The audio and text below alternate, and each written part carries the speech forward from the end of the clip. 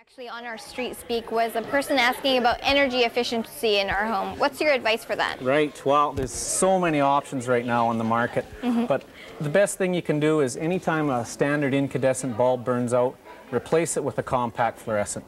Okay. They make them now, tight spirals to replace any light bulb in any fixture you're going to have in the house. Mm-hmm. 60 watt bulb, you can get less than 15 watts of compact fluorescent, get the same output.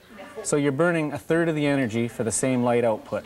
And that little tight spiral will fit into any fixture now. And it's just all in the way that they're shaped, or Yeah, they're fluorescent technology. So incandescent is a hot tungsten filament, burning hot, giving off light.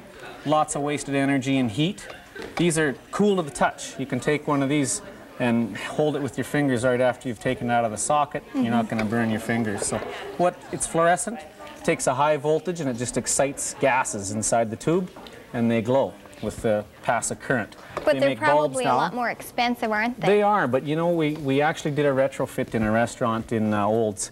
We saved them $400 a month on their electrical bill by Wow. changing out to uh, compact fluorescent. So it's a huge savings, and they make them all styles now hot light, you know, the floodlight styles, the spotlight styles, and uh, also fluorescence in your home. Most people have the standard T12, which is the big fat tube like this.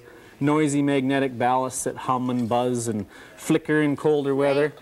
Well, now T8 technology is uh, just a little smaller tube, utilizes an electronic ballast, so there's no hum, no flicker, and more light output for less energy. So Perfect. those are some energy efficient options. Oh, you had some great advice for us today.